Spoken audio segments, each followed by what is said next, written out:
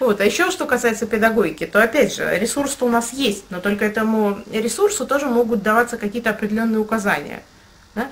Если мы завтра перестанем там преподавать одну дисциплину, а начнем преподавать другую, то они будут, к сожалению, вынуждены свои таланты использовать в соответствии с этими указаниями. Вот мы, например, э, половым просвещением, сексуальным просвещением детей в школе не занимаемся, зато мы их обучаем религиям. Скажите, пожалуйста, а почему одно другое исключает? Почему даже в советское время была там этика и психология семейной жизни? Там, между прочим, разбирались разные темы. Сегодня это с детьми вообще никто не разбирает. Считается, что там с сексуальным просвещением к детям нельзя подходить. Ну и что в результате? В результате мы имеем вот эти вот э, беременности 15-летних девочек, да, и мы имеем эти ЗППП, которые передают, заболевания, передающиеся половым путем, которые там, начиная с подросткового возраста, да, начинают гулять по компаниям. Ничего хорошего мы из этого не получаем. Да? Не, не надо думать, что если мы детям не рассказали о сексе, то дети о нем не просветились. Опыт как раз показывает, что дети о нем просветились. Только, да, только очень своеобразно на том уровне, на котором их просветили в их компании. Вот. Поэтому система образования все время меняется, ну, например, там, обществознание, да, вот теперь мы преподаем обществознание. Опять же, кто его преподает обществознание? Историки, психологи, кто только не преподает. Потом в это обществознание тоже входит все одновременно. И это должен быть специалист-универсал, который преподает такой предмет. Как он преподается, это большой вопрос.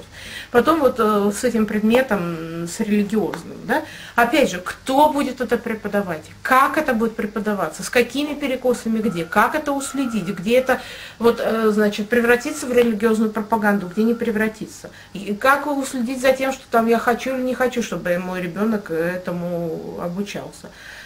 Честно говоря, на мой взгляд, существуют отдельные места, где можно обучаться дополнительно, и все эти религиозные институты бесплатно готовы всегда всех там обучить. Приходите, мы вам про все это расскажем. Я не знаю никаких таких религиозных там объединений, ну, кроме сект, естественно. А нормальное, адекватное религиозное объединение всегда тебя просветят, если ты к ним пришел и об этом попросил.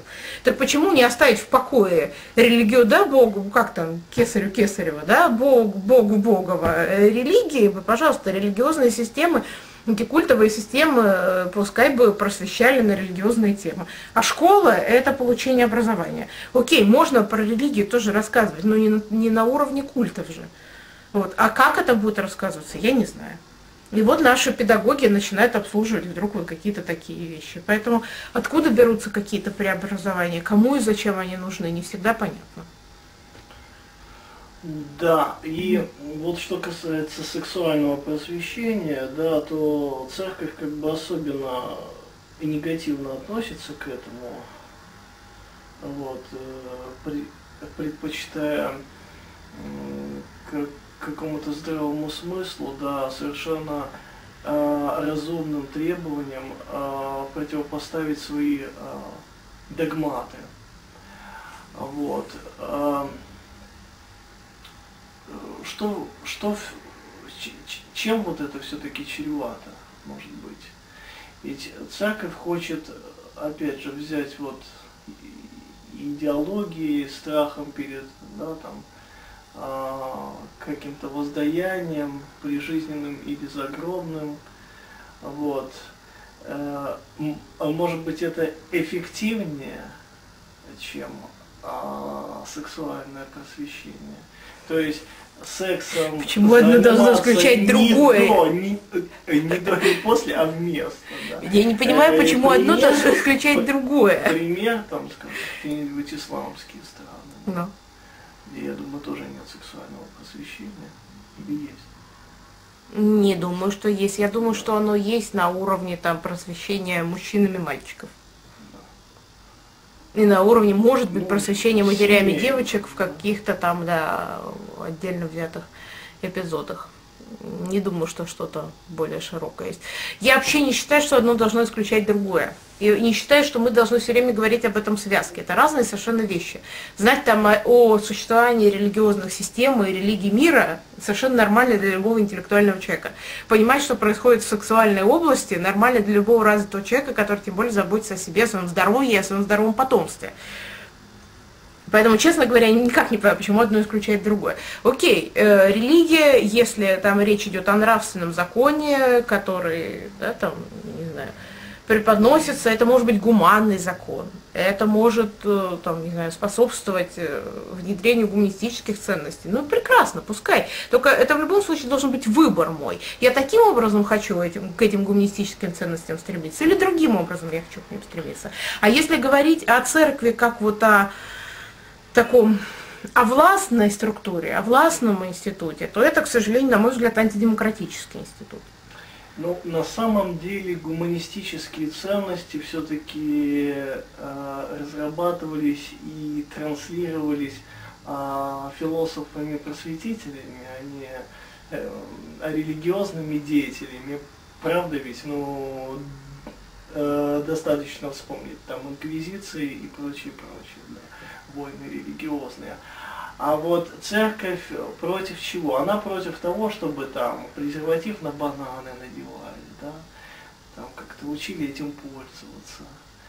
Вот. То есть она за она, она против аборта, против секса до брака, там, против предохранения там, и так далее. И вот этому всему они готовы обучить вот этой вот этике, да, своей вот христианской семейной в рамках своих курсов.